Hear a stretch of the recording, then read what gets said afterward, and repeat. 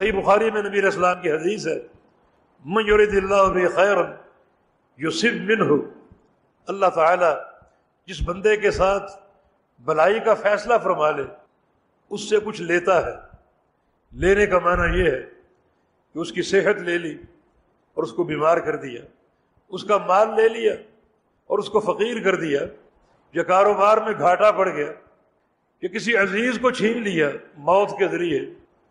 اور یہ صدمہ اس صدمے سے اس کو دوچار کر دیا۔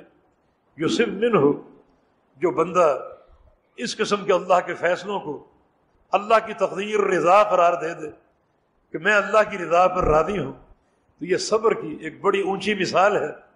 اور اللہ رب العزت اس صبر کے ذریعے اس کے گناہوں کو معاف معاف کر دے گا اور گناہوں سے پاک صاف کر دے گا۔